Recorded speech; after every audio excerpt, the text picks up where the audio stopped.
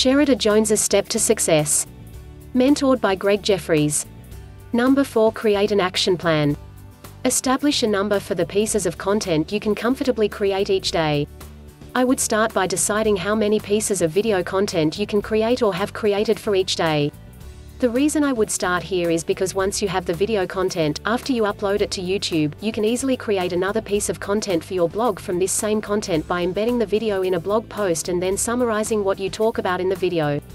So, you're essentially doing what I call content stretching or repurposing the same content in order to squeeze the most value that you can out of it.